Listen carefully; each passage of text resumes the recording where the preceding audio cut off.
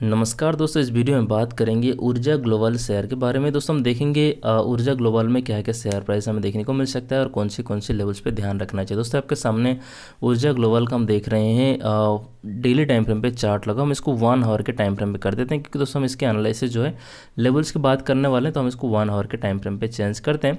दोस्तों दोस्तों, वीडियो शुरू करने से पहले एक छोटे से रिक्वेस्ट है।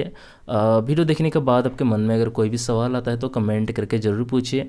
अगर आपने अभी तक सब्सक्राइब नहीं किया तो आपकी स्क्रीन के ऊपर देखिए सब्सक्राइब बटन दिखाई दे रहा होगा, उसमें क्लिक करके सब्सक्राइब कीजिए साथ साथ बेल आइकन भी दबा लीजिए। दोस्तों, देख सकते हो यहाँ पे ऊर्जा ग्लोबल का हम वन आवर के टाइम फ्रेम पे देख रहे हैं। अगर इसके हम लेवल्स की बात करें, दोस्तों सपोर्ट लाइन फॉलो करना चाहिए, आठ रुपये का सपोर्ट लाइन को फॉलो करना चाहिए। दोस्तों रेजिस्टेंस लाइन आपको फॉलो करना रहेगा यहाँ पे। आठ रुपये चालीस पैसे का और दूसरा रेजिस्टेंस लाइन फॉलो करना चाहिए, आठ रुपये पचहत्तर पैसे। दोस्तों, इन्हीं लेवल्स से शेयर प्राइस पर ध्यान रखें इस तरीके से और भी इन्फॉर्मेटिव वीडियो देखने के लिए चैनल को सब्सक्राइब करके बेल आइकन दबा लीजिए। धन्यवाद, दोस्तों।